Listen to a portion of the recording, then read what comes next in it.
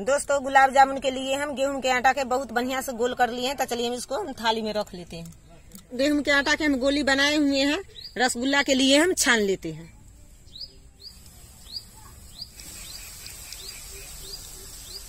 दोस्तों, गुलाब जामुन छान लिए हैं तो निकाल लेते हैं। इसको हम चाशनी में डुबा देते हैं। दोस्तों, गुलाब जामुन बना करके तो तैयारी कर लिए हैं तो चलिए खिला करके देखते हैं गुलाब जामुन कैसा बना है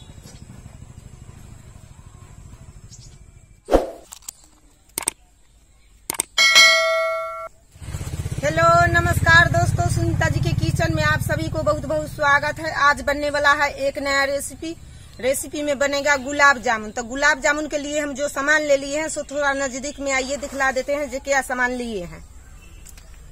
दोस्तों, सामान में ले लिए हैं, गेहूँ के आटा ले लिए गेहूँ के आटा से आज हम गुलाब जामुन बनाएँगे। तो गुलाब जामुन बनाने के लिए गेहूँ के आटा ले लिए उसके बाद हम सोडा ले लिए हैं, उसके बाद हम चीनी ले लिए उसके बाद घी ले लिए हैं। तो घी में हम गेहूँ के आटा फ्राई करेंगे तो फ्राई से पहले चलिए, हम सबसे पहले चूल्हा धरा लेते हैं।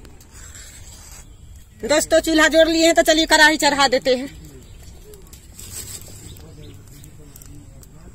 दोस्तों, बर्तन गर्म हो गया तो घी डाल देते हैं, गेहूँ के आटा फ्राई करने के लिए। दोस्तों, घी गर्म हो गया तो चलिए गेहूँ के आटा हम डाल देते हैं। तो गेहूँ के आटा डाल दिए हैं तो चलिए इसको बढ़िया से हम चला देते हैं। दोस्तों, गेहूँ के आटा ज़्यादा फ्राई नहीं करना है, हल्का फ्राई करना है, ज़्यादा जराना भी नहीं है। दोस्तों, बढ़िया से गेहूँ के आटा फ्राई हो चुका है तो चलिए हम उतार लेते हैं चूल्हा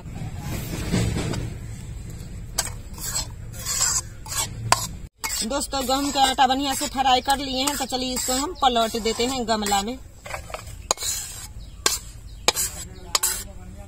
दोस्तों, गेहूँ के आटा फ्राई किए हुए थे। वो गमला में हम पलट लिए हैं तो इसको दो मिनट के लिए छोड़ देते हैं, तब तक हम चाशनी बना लेते हैं।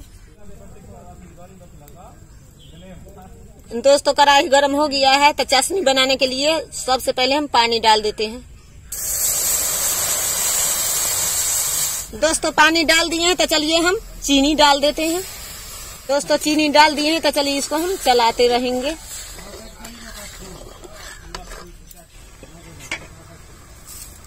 दोस्तों, गेहूँ के आटा के कभी काला जामुन आप खाए हैं कि नहीं? वो कमेंट बॉक्स में ज़रूर बताइएगा। नहीं खाए होंगे तो एक बार मेरे तरीका से ज़रूर गेहूँ के आटा के काला जामुन बना करके ज़रूर खाइएगा। फिर बताइएगा कमेंट में। उसके बाद हमारे चैनल पर पहली बार आए हैं तो चैनल को सब्सक्राइब कीजिए लाइक कीजिए, अपना दोस्तों में शेयर कीजिए। तो चलिए, हमारा चाशनी बन करके तैयारी हो चुका है तो चलिए हम उतार लेते हैं। चाशनी बन करके तैयारी हो गया है तो चलिए हम इसको पलट लेते हैं। दोस्तों, चाशनी बना करके हम तैयारी किए हुए हैं।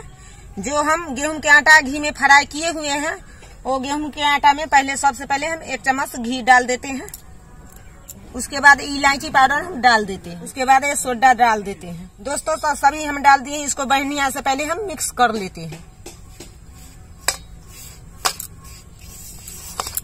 दोस्तों, हम बढ़िया से मिक्स कर लिए हैं।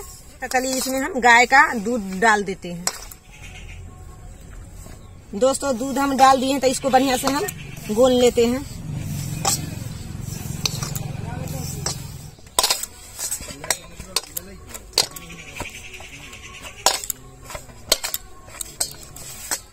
दोस्तों, गुलाब जामुन के लिए गेहूँ के आटा के हम गेहूँ के आटा के हम बढ़िया से गोल लिए हैं।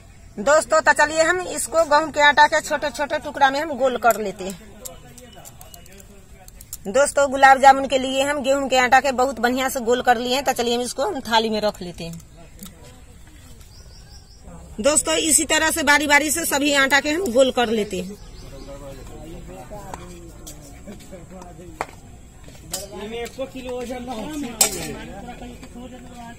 तो गेहूँ के आटा के हम गोली के तरह गोल गोल कर लिए हैं तो गुलाब जामुन के लिए इसको छान लेते हैं।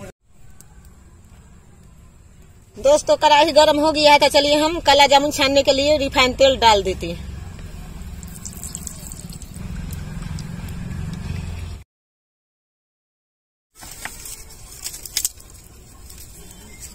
दोस्तों रिफाइंड तेल गरम हो गया है। गेहूँ के आटा के हम गोली बनाए हुए हैं। रसगुल्ला के लिए हम छान लेते हैं।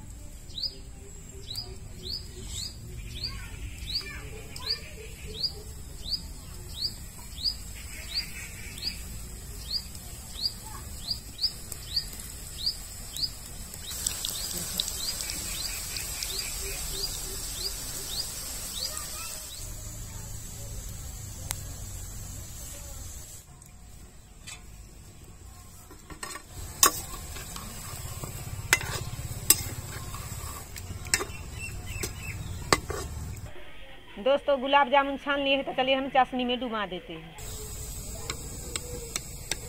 इसको हम चाशनी में डुबा देते हैं।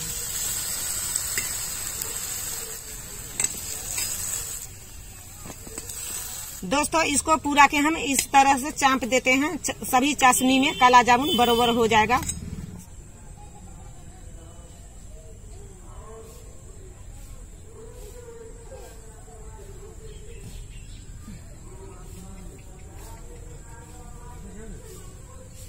दोस्तों, गुलाब जामुन बना करके तो तैयारी कर लिए हैं तो चलिए खिला करके देखते हैं गुलाब जामुन का स्वाद कैसा बना है।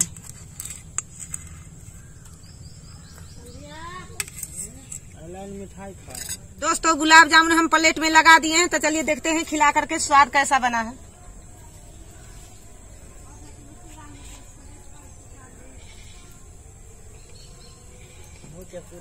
दोस्तों, गुलाब जामुन सुपर सुपर बना है।